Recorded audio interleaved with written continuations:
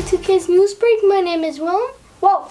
With the recent Orionid meteor shower, I thought it would be great to talk about meteors.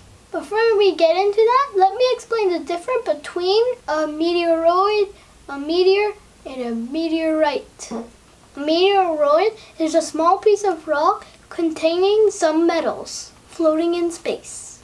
When that meteoroid enters the atmosphere and starts burning up, it is a meteor. If the meteor is lucky enough and hits the ground, it's called a meteorite. The Orionid meteor shower happened because the Earth passed through all the bits of debris that Halley's Comet left behind. When the Earth's atmosphere comes in contact with those pieces, they burn up and create a meteor shower. Another name for a meteor is a shooting star. Now to Nellie with the weather. It's sunny with a chance of meteors. Thank you, Nellie. Whoa!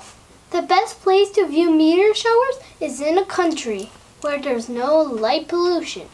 The best way to understand light pollution is think about the last time that you were in a country away from those tall buildings and those bright lights. You could see a lot of stars, right? When you're in the city, you can only see a few. That is light pollution.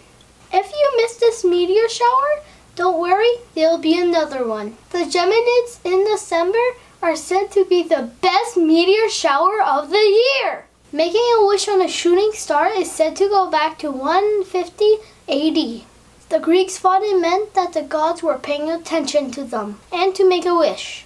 Even today, different cultures have different customs. In Chile, they pick up a rock when they see a shooting star, and they make a wish at the same time. Do you do anything special when you see a shooting star? Let me know in the comments down below. To watch this video in French, click here. Don't forget to like and subscribe, and we'll see you next time.